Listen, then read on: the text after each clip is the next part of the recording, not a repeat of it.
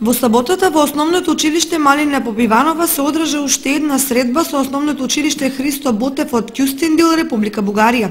Се подготвуваа завршените документи за реализација на проектот за меѓугранична соработка за подобро запознавање на Соговскиот регион. Ги разменуваме идеите, ги подпишуваме документите и се договараме за апликацијата на проектот, за кој искрено се надеваме дека ќе ќе биде успешен. Проектот е со екологична насоченост. Проектот е со еколошки карактер. Целта на проектот е учениците подобро да се запознаат со природните ресурси на Осоговските планини. Со овој проект, учениците и возрастните ќе се обучуваат како да ги зачуваат природните богатства на Осоговските планини, за нив и за идните поколенија. Навистина е многу добро да се работи со колегите од Основното училиште Малина Попиванова. Наистина многу добре се работи с колектива на Основно училиште Марина Попиванова. Со одобрувањето на проектот од страна на фондовите на Европската Унија, наставниците и директорите на двете училишта ќе пристапат